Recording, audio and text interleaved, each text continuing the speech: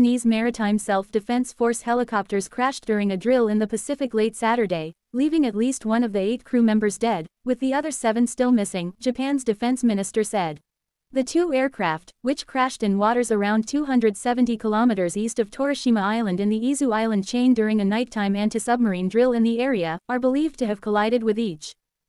The crash added to a series of fatal accidents including Japanese Self-Defense Forces aircraft in recent years, fueling public concern over the safety of their flights despite the government's efforts to sharply increase defense spending.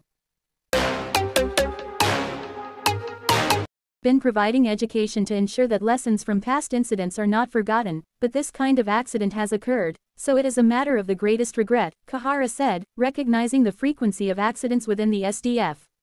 The SH-60K helicopters, each carrying four crew members, lost contact at 10.38 p.m. and 11.04 p.m., respectively, with the MSDF receiving an emergency signal at 10.39 p.m., according to the MSDF.